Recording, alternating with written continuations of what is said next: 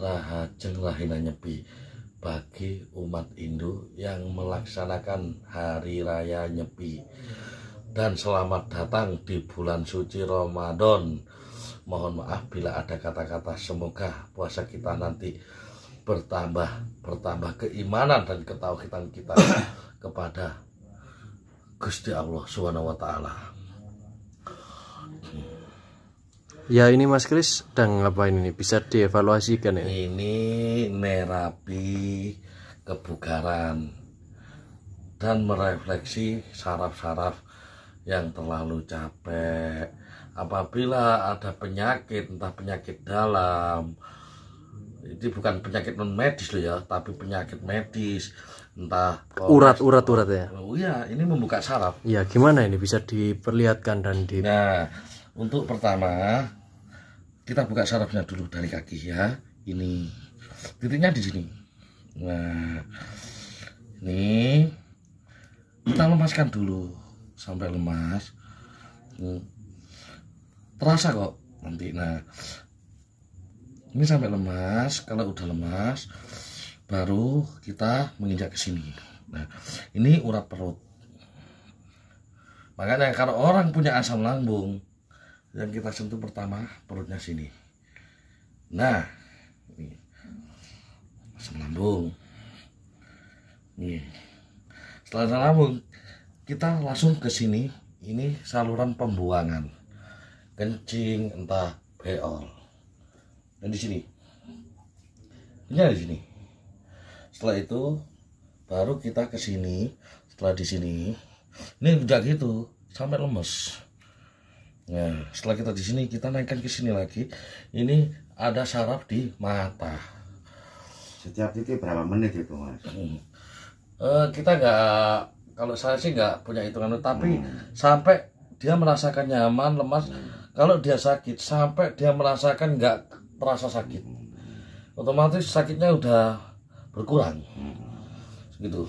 ya menghadap kamera aja nggak apa-apa. Nah, ya, setelah nah, nah ini kan kelihatan mas. Bedanya di sini.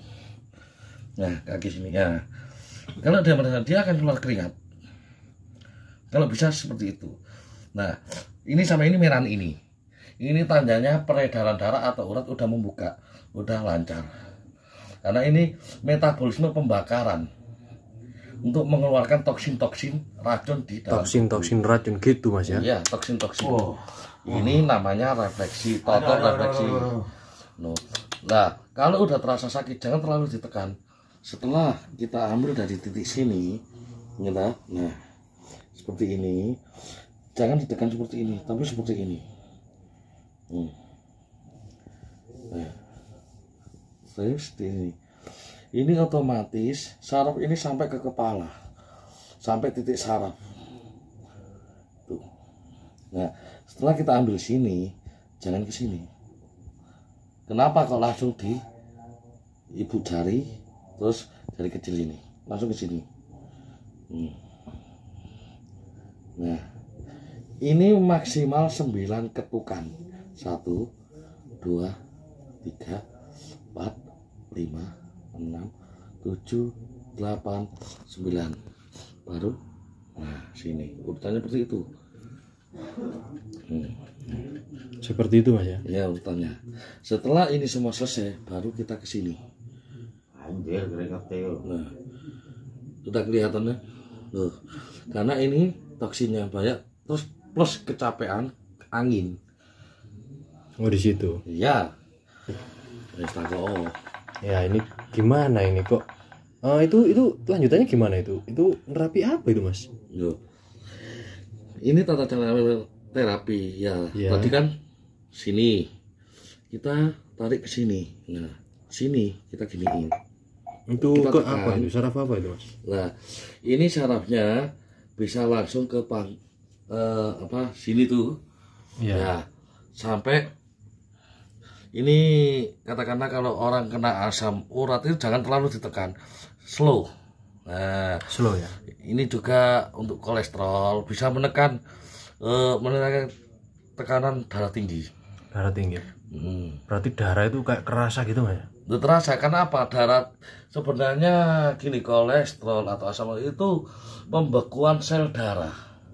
Makanya kenapa kok yang sering main minum air putih hangat itu su- pembekuan-pembekuan darah atau lemak itu bisa langsung lancar. Kayak gitu mas ya? Seperti itu. Itu lah ini kok ada bau-bau wangi ini? Bau Nah. apa ini mas? bau wangi ini memang sengaja kita ibaratnya istilah ke leluhur ibarat pangabekti iya. Untuk menghormati sukma-sukma leluhur yang ada di oh. Nusantara ini eh wabil khusus sebagai wilayah daerah sini. Baunya kayak enak banget mas ya nggak Ya. nyengat ya? Masalah itu produknya ada di sini. Nono ini Bunga. orang-orang bilang kenanga oh iya. Kena ngono kena ngene nah bisa ap- bisa gini bisa gitu asal tidak melanggar syarat-syarat dan ketentuan yang udah diatur. Nah terate ini biasanya identik dengan air. Makanya kalau orang mau mandi atau sesuci ya harus teratenya juga ada. Karena terate ini bunganya Dewa Wisnu. Wisnu nggak mawar terate lah ini dupa ini yang satunya ini. Meditasi.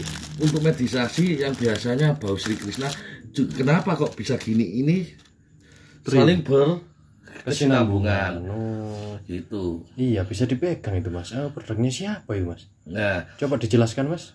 Gimana keistimewaan Dubai ini? Nah ini kok ada tulis tulisannya ini tulisan apa ini mas? Nah, Bisa dijelaskan ya? gini.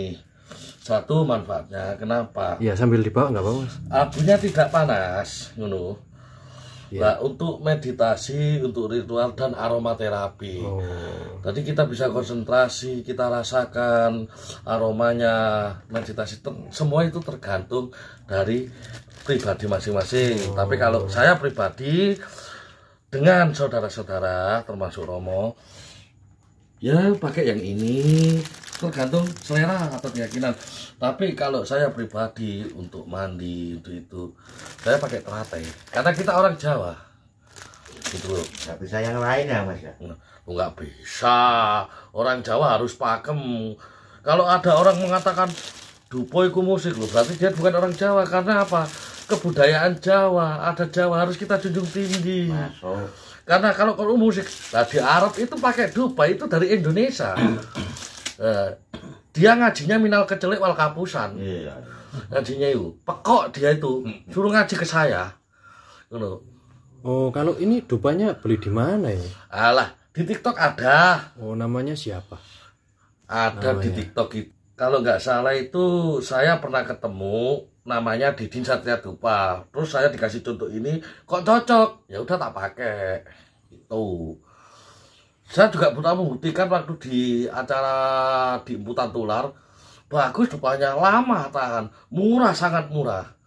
Loh kenapa? 15.000 itu 50 biji, sedangkan lainnya 50 biji saya sendiri beli harganya dua kali lipat ini mas ringan di kantong irit Loh, kalau dupa ini saya ini bisa dua minggu mas.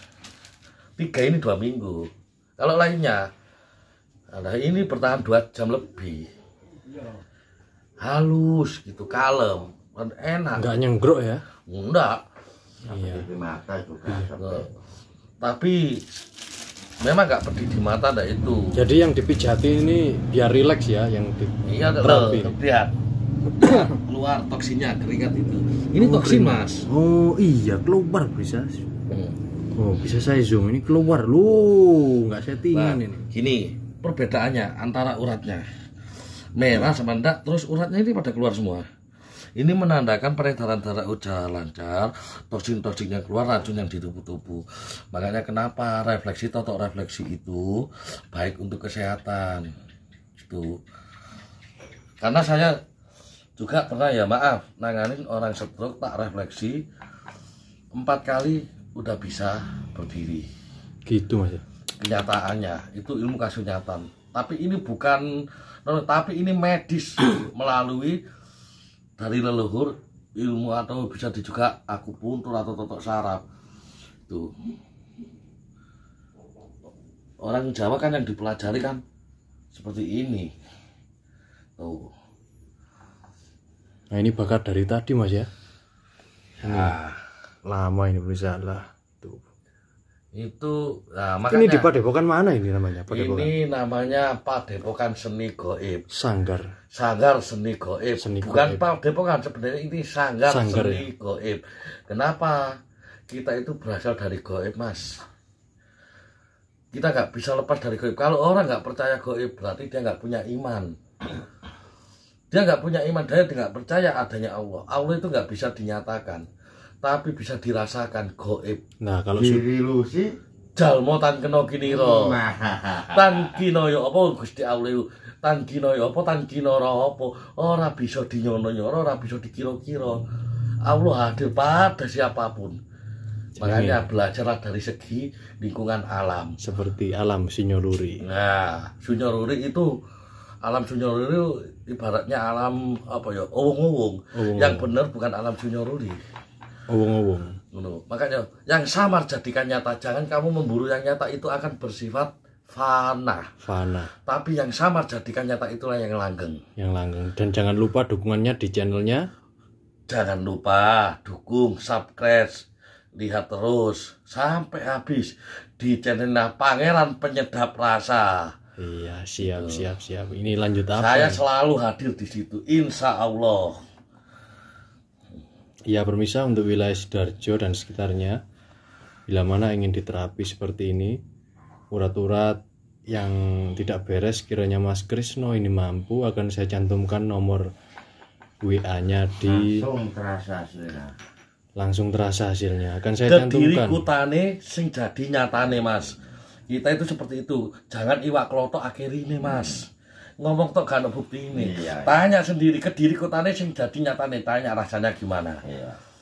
ya gimana gimana yang merasakan pasiennya Alhamdulillah langsung terasa. Alhamdulillah. Nah, ya, pasiennya wah Kecapean mungkin juga bisa. Alhamdulillah terasa enak ini. Alhamdulillah, puji syukur. Kan saya cantumkan nomornya Mas Krisno bila mana ingin menghubungi terapi urat ini kaki.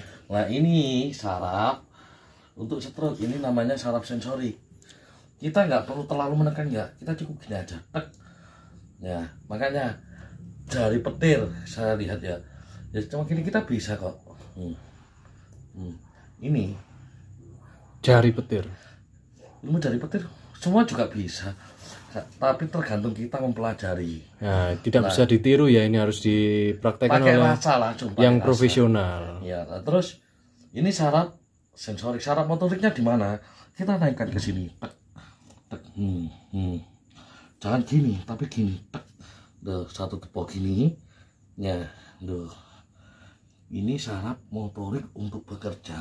Saraf sensorik itu saraf perasa. Kalau orang nggak bisa mati rasa itu sensoriknya yang kita benahin seperti itu kalau orang itu seling dinu kesemutan nih Kalau cinta tidak bisa diduga itu apa Nah, namanya? cinta tidak dibuat cinta itu adalah bersifat anugerah, Mbok, mbok, mbok, mbok, mbok, mbok. Yang parah lagi cinta bertepuk sebelah tangan. Kalau ada cinta, iya. Apakah ada cinta yang namanya kul kutu kadal kesit? Dari dulu cinta itu sifatnya gitu, kelihatannya jinak, tapi sulit. Makanya jangan mengejar sesuatu yang belum itu, tapi kita cuma berusaha menanti apa yang datang. Karena apa sesuatu yang datang itu anugerah, kita syukuri. Dan jangan lupa jempolnya gimana?